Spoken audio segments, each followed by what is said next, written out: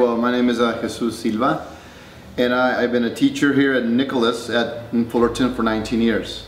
And I'm 52 years old, and I've actually lived most of my adult life here in Fullerton. I lived here for 27 years. Uh, I've done a lot with, with uh, been involved with the city. I'm a Parks and Recs commissioner right now. I was on the CDBG commission a while back.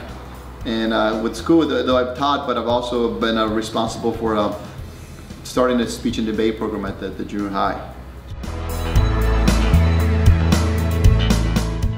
I, do enjoy community service and, and, I've been involved with that, with teaching, with helping uh, different groups. And I thought this year would be a, good year to, to be more involved, to be to actually jump into the pool completely. Uh, as you know, my wife is uh, was a mayor here and uh, an assemblywoman, and I've been involved in politics. But uh, having worked in taught in Fullerton for 19 years, down south of Commonwealth, if you will, and lived north of Commonwealth, I can see the difference in the in the various neighborhoods, and, and I do believe that that we need to have a, a council member up there who either works or lives in a different community so we can see things from a different lens.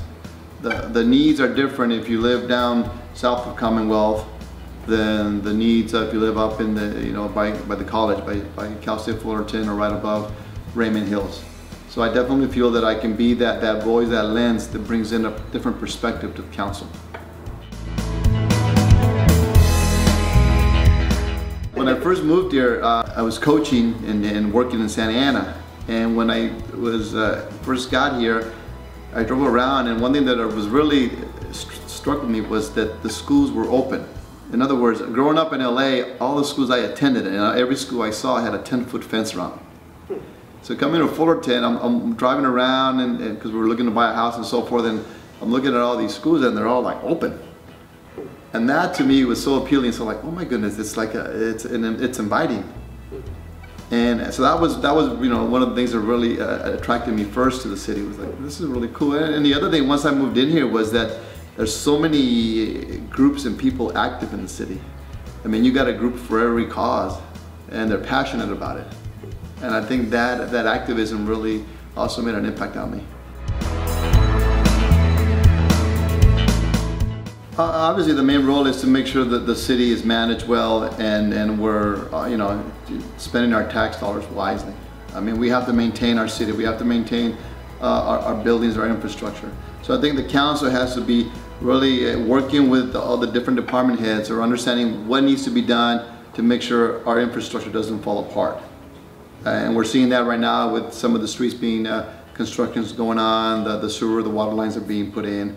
So that's a part of it. The other part is to really be out in the community and, and, and listen to what's going on. What are the needs? And it brings me back to what are the needs of all the neighborhoods? Because sometimes I think we, we, get, uh, we get blinders on and we see one side of it. But uh, you know, as you know, that this city, there's three or four very distinctive communities here that have different needs. So I think as a council member, you have to be willing to go out there, reach out, ask questions and listen and, and advocate for them. I think a, a, a, system where you have representation from different parts of the, of the community is good. It can only benefit our community. So going to districts, I think will do that. It will provide someone from the, the southwest, the northeast, the southeast to come in and say, hey, this is what's going on in my neighborhood. Uh, so I really think that uh, can play a big role in how we manage the city and how we move it forward by being able to, to listen to very uh, five different voices. I think it would be great if we had that theater open. And I think we got to push to get it open. and I think the, the majority of the community would like to see it open. I mean, we already have a couple of businesses there that, that are helping the, the theater uh, with some revenue. I think the next step is we just have to push it through and say, hey, what's it going to take to get this done? This is important to the community. Let's get it opened. Let's work on it. we do need more affordable housing. And, and example, my, uh, my daughter Molly, she can't afford to move back here. She's a working professional and so forth, and it's just too expensive. So we do need some housing that could say, hey, look, you're, you're early in your career, here's a place where you can afford and, not, uh, you know, bankrupt you, if you will, or not, and, and then go from there. And like you said, right now, you know, it's hard for you and it's hard for other people to, to move into the town they, they enjoy, into the town they work at. But I think we, we do need to look at that a little more. Well, I think ever since uh, Chief Hughes has come in, he's done a great job uh, of, of uh, not only managing the, the, the, police officers, but, but of, uh, of bringing that trust back to the department. He did an excellent job of making sure that uh, the people who were involved, either A, got the proper training they needed, or B, they were dismissed because they, they broke policies and procedures of the department. And I know he started a, a, somewhat of a roundtable with the, the chief's uh, advisory group. I think that's a step in the right direction. And also I think with, with the cameras coming on, uh, you know, what are they, when I was coaching basketball, we used to say the video doesn't lie, let's go look at it. And I think that will also allow the public to see what's going on and what's happening. So if there is an incident where we're like, well, what's going on? We've got video. And I'm sure Chief Hughes would not hesitate if, if his officers are out of line or, or not following the, the protocol, he will deal with them.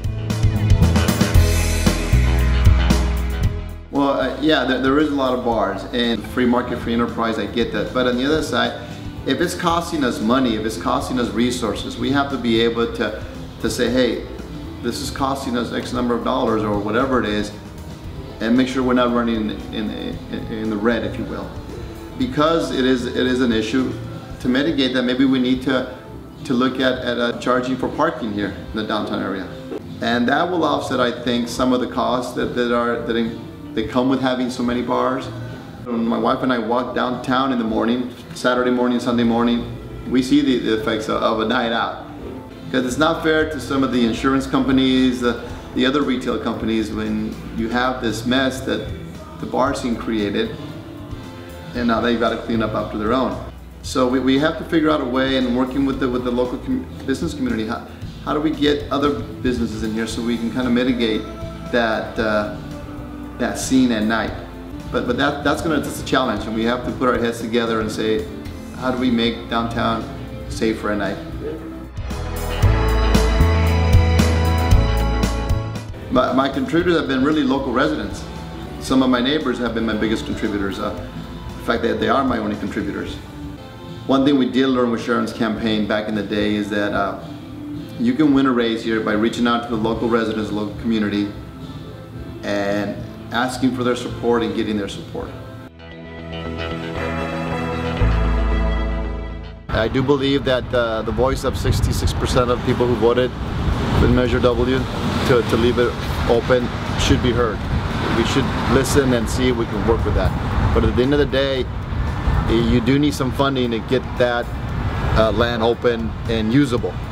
So if we can do that, I would be totally behind it and uh, we, we've got to see what we can do with it. Again, having taught here 19 years and lived in Fullerton for 27 years, I feel that I can bring a different perspective to the dais up there. So vote for me because I will listen to you. I know the community and I really do enjoy being of service to the community.